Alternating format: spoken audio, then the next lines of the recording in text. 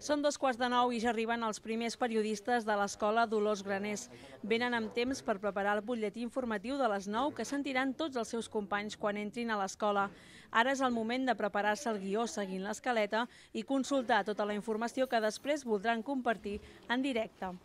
Bueno, la primera secció és, és el Bon dia, que diem quina cançó escoltem avui, diem qui la canta, quin dia és, bueno, i hi ha també les fruites. Hola. Les fruites que ara estan de temporada són la mandarina, la poma i el raïm. Demaneu-les ara que és quan són més bones. Us deixo amb el temps d'avui. Després hi ha el presentador de dos que diu el temps, què fa, el mar, el vent i, els, i com està el dia. Avui, els del menjador han preparat mongetes estofades al carall amb verdures, daus de pollastre embonyat al forn i fruita al temps. Això és el que ens han preparat les nostres clientes preferides de graners. I els que no vinguin al menjador, que tinguin un bon dinar. Bon profit! He fet el Sabies què i que vens aquí busques com sabies què, que és com curiositats i després ho, ho dius per la ràdio. He buscat curiositats i em vaig trobar un munt. I les vaig apuntar en un full i quan hem arribat aquí ens les hem repartit entre la Júlia, l'Adriana i l'Ica i jo. Sabies que un home anomenat Charles va patir cinglot 69 anys? Sabies que un llapis pot fer una línia de 56 quilòmetres? Quan he entrat a la, a la port, de la porta, he agafat una, un full i he començat a escriure les sortides que hi havia avui.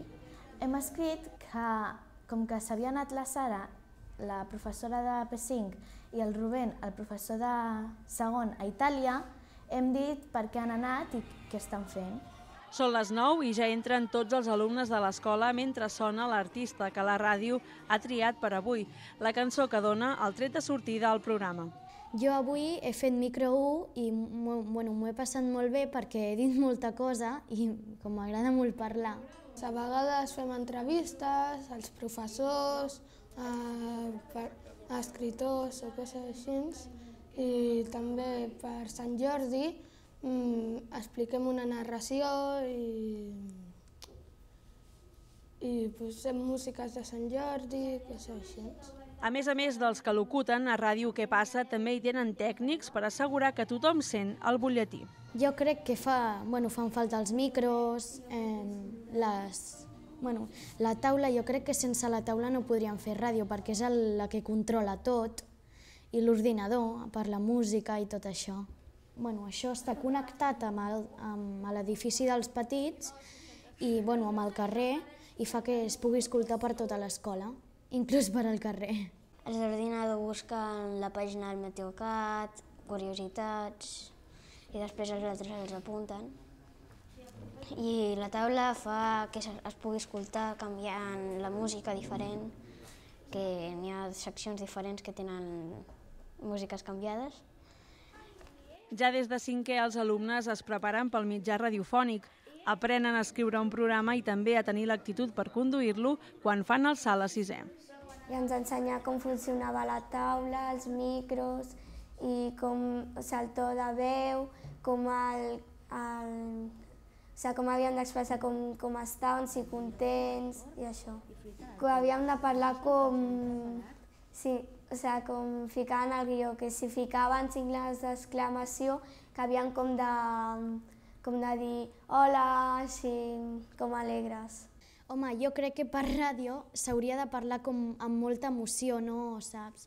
No així, eh, sinó amb molta emoció, perquè si no, no, els més no es diverteixen. La Sara, la professora de P5, i el Rubén, el profe de segon, s'han anat a Itàlia.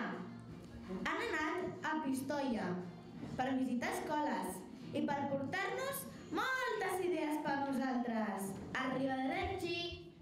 Deu minuts més tard de l'inici de la connexió, l'equip es reparteix les tasques per l'endemà, perquè tornaran a llevar-se ben d'hora per compartir l'actualitat.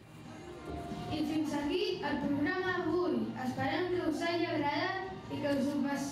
i que us ho hagueu passat tan bé com nosaltres. Aprofiteu el dia, fins demà